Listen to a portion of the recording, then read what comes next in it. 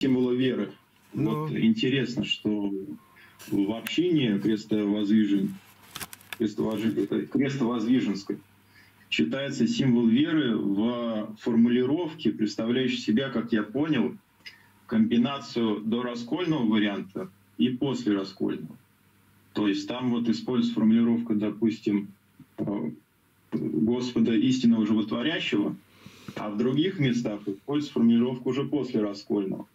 Вот вопрос, почему был выбран именно такой вариант формулировки? Потому что добро надо искать везде.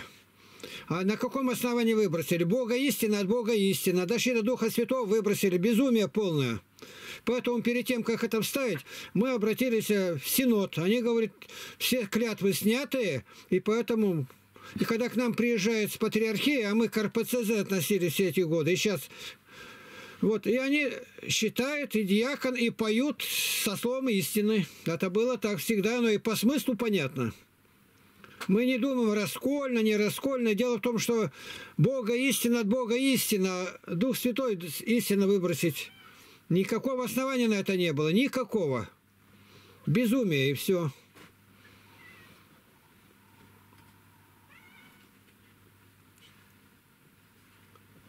Нет, просто, просто вот интересует, что именно вот в такой формулировке, получается, читалось э, не только у вас, но еще и в других э, приходах. Ну, патриарши, когда бывает здесь, митрополиты служат патриарши в наших храмах, вот которые нас здесь, Потеряевки и в Барнауле, и они считают истинного, как у нас написано.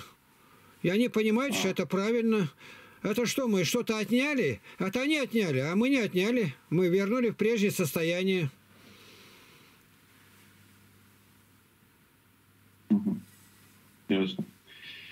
Спаси Христос. Аллилуйя.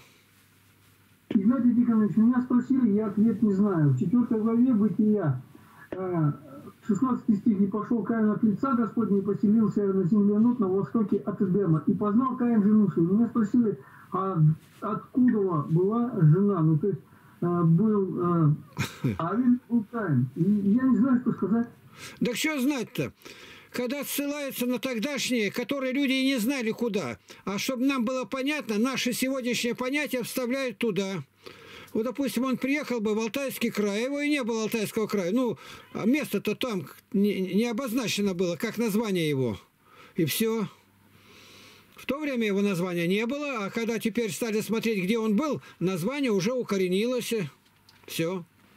Нет, говорят... Нет, я по поводу жены. Нет, он говорит, что Каин познал жену. Откуда у него жена-то взялась? Сестры, сестры родные. Сестры. Тогда это кровосмешением не считалось. Сильный человек был. А откуда? От Адамова дети, никто это не знал, что нельзя жениться. А вот когда стали брать иноземок, вот тут уже был вопрос такой, надо расстаться. Поэтому Неемия и Сезр устроили всемирный развод. Брат, там в Бытие, в пятой главе, когда идет родословие перечисление, там говорится, что от Адама произошли эти сыны и дочери. Прочитай внимательно эту главу, увидишь.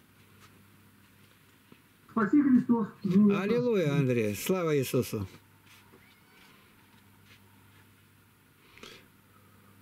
Как, Светлану не убедил еще насчет десятины? Игнатий Тихонович, она в раздумьях, молчании и в печали. Ну, она понимает, что времена сейчас как раз не те, чтобы, потому что в дальнейшем, я так не знаю, по этой жизни христианин чем сможет отдать Господу. Ну, я молюсь, ну ты, Андрей, Андрей, слушай внимательно.